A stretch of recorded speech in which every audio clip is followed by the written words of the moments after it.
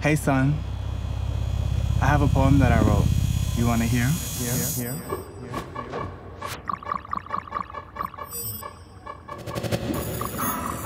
Speeding through the misty meadows of my subconscious mind, I tend to blow past the signs of harmony.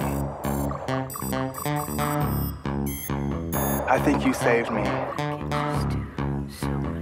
Do not come searching for me. I am where I need to be.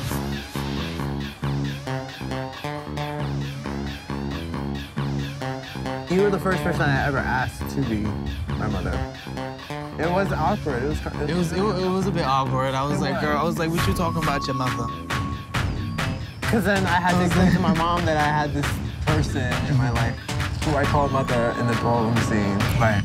That comes over and teaches me how to vogue sometimes. My mom left me in the hospital. For whatever reason, I don't know. My father's never been in my life. You came at the right time. I didn't know what I was trying to do.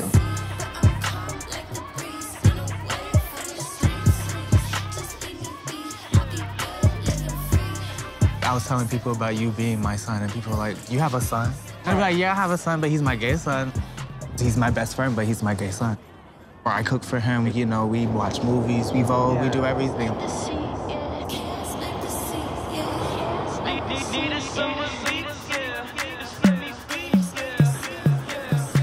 The definition of being like a son to someone in the scene is like being able to be taken care of and trusting someone.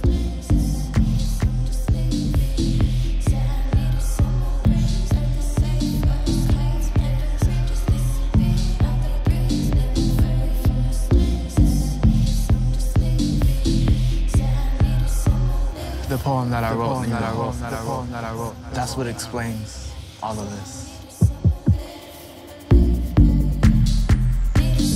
Raw with emotions deep to the core. Your tears rolling down to the ocean's floor. I am way down in the sea of dreams. Do not bother searching for me. That's why you my son. Uh, That's why you're my mother. Yeah, okay, girl. None of this, that touchy feely stuff. You know, We need to. we gotta go. Let's go.